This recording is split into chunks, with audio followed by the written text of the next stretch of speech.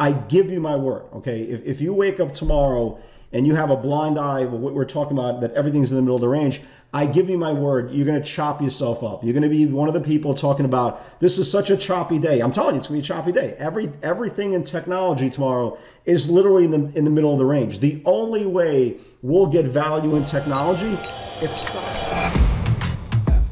Welcome to Access a Trader, the number one community for those who are committed to taking control of their trading in order to achieve success, profitability, and longevity.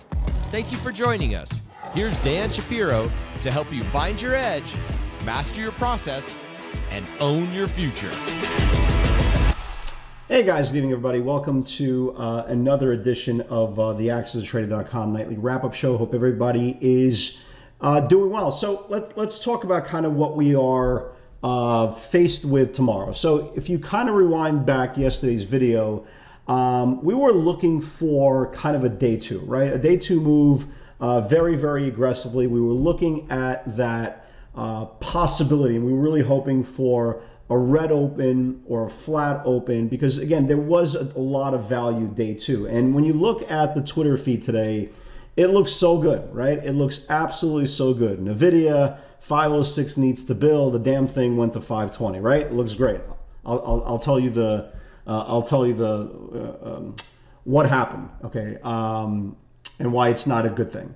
Uh, Nvidia looked great. Alibaba looked great. Netflix looked great.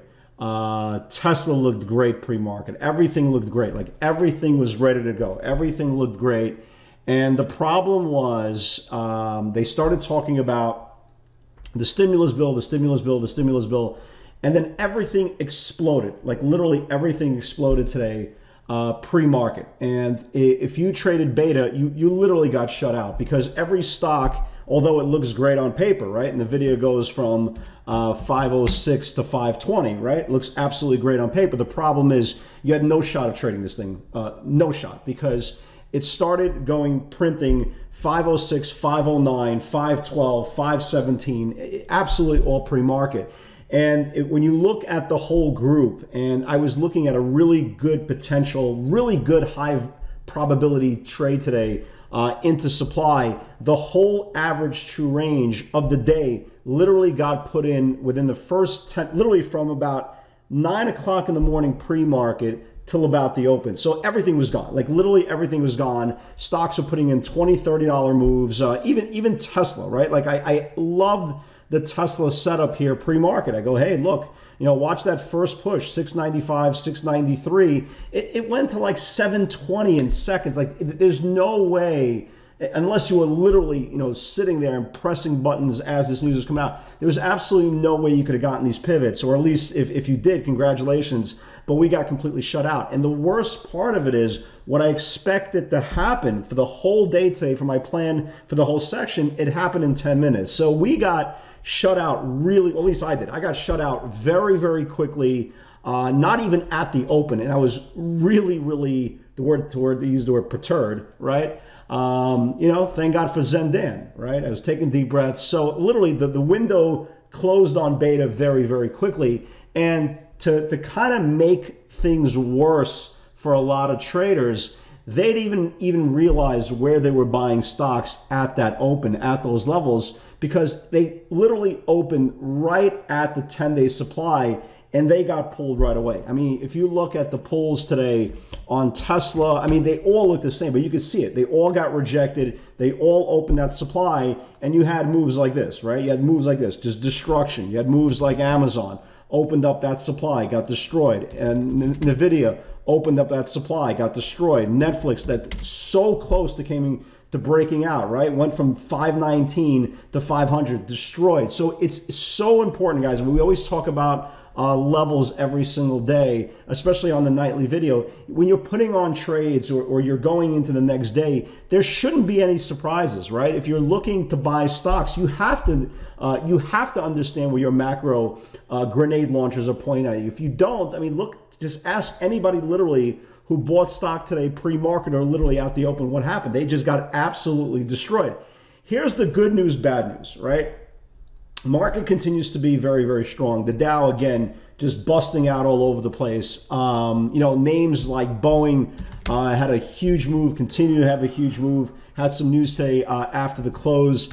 Names like Triple M, names like Caterpillar, right? They all look good. They all look great.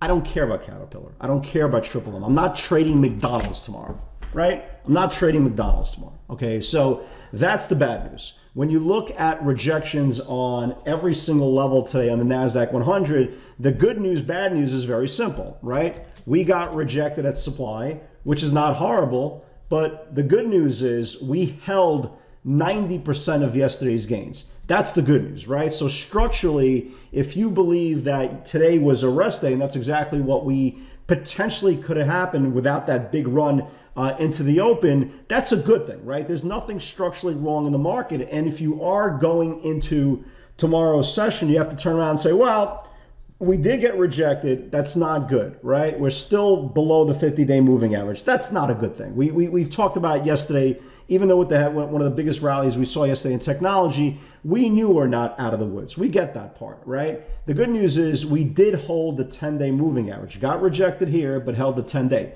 So that's good. Here's the problem. When you look at every single chart going into tomorrow's session, you'll wind up looking at the same thing. Apple is in the middle of the range. Tesla is in the middle of its range. Netflix, right? Netflix. Okay. Netflix got rejected, right? It's not the top of the range, it's not the bottom range. Guess where it is, right?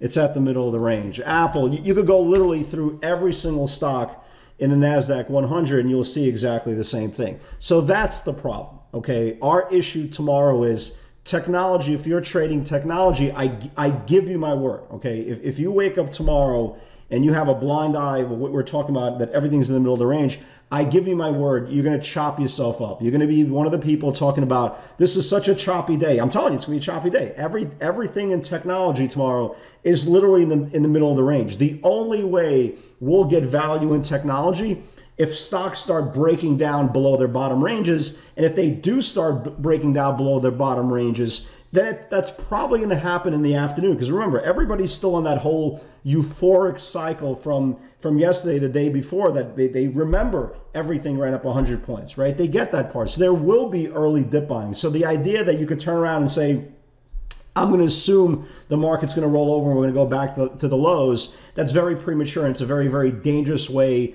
uh, to navigating the market. Don't guess, right? We, we say this all the time don't guess. So we have that good news, bad news scenario. We know technology, for the most part, probably is going to be uh, off the table for tomorrow's session. So we have to do kind of what we did today. We kind of have to manufacture runs uh, the PLTRs of the world, the RKTs of the world, right? all, all, all, my trades today were bounce plays. Like literally, they were all bounce plays. I let them all take out highs. They came back into the 60 minute channel and they bounced. Even a name like uh, GNUS of all things, right? Uh, you know, a stock like this had you know all this order flow came in today.